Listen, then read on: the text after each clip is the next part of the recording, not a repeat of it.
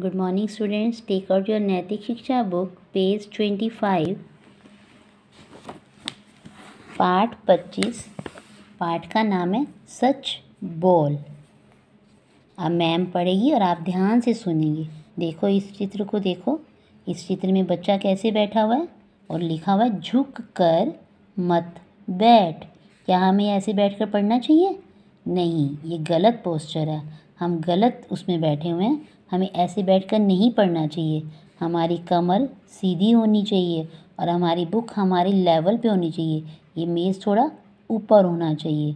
तो हमें झुक कर नहीं बैठना, इससे हमारी ये वाली जो रीढ़ की हड्डी होती है, उसमें प्रॉब्लम हो जाती है।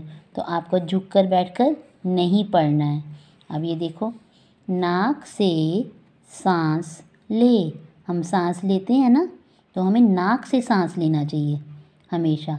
आप नोट करो, आप नाक से सांस लेते हो, नाक से ही सांस लेना चाहिए हमें, ठीक है? उसके बाद देखो, मुँह से सांस मत ले। हमें मुँह से सांस नहीं लेना चाहिए, नाक से ही लेना चाहिए सांस। मुँह से सांस लेना गलत बात होती है, ठीक है? तो हमें मुँह से सांस नहीं लेना चाहिए। सीधा बैठ, देखो ये बच्चा बिल्कुल सीधा बैठा हुआ है, बैठा हुआ है ना? देखो इस पीक में। सीधा बैठा हुआ है।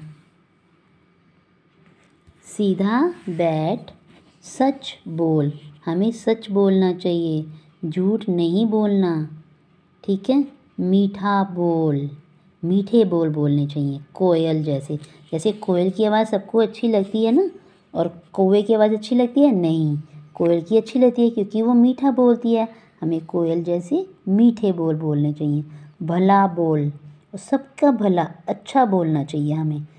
भला बोल बोल, अच्छे बोल बोलने चाहिए हमें किसी के बारे में। जैसे हमें हमेशा कहना चाहिए, हे भगवान जी, सबका भला करना। तो उसमें हमारा भला अपने आप हो जाता है। हमें कभी किसी के बारे में गलत बोल नहीं बोलने चाहिए। अब इसके बाद है, झूठ मत बोल। झूठ नहीं बोलना ना, झूठ बोलना गलत बात होती है। भगवान जी, पाप भी लगाते तो हमें झूठ नहीं बोलना चाहिए। कड़वा मत बोल। हमें कोई भी ऐसा बोल नहीं बोलना चाहिए, जिससे किसी दूसरे को दुख पहुँचे।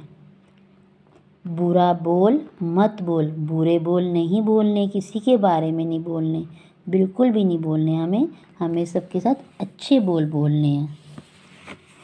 अब अवकाश हो गया। अब छुट्टी हो गई, देखो बेल हो गई। ठीक है? तो अब अवकाश हो गया। तो आपने इस पाठ में सीखा कि हमें झुक कर नहीं पढ़ना, सीधे बैठ कर पढ़ना है, नाक से सांस लेना है और सच बोलना है, मीठे बोल बोलने हैं और भले अच्छे बोल बोलने हैं, जो दूसरे के मन को अच्छे लगें। कोई भी ऐसा बोल नहीं बोलना, कड़वा या बुरा बोल नहीं बोलना, जो किसी दूसरे के मन को दुख पहुँचाए। हमें किसी को दुख नहीं देना, हमें बिल्कुल भी ये अधिकार नहीं है, हम किसी के दिल को दुखाएँ।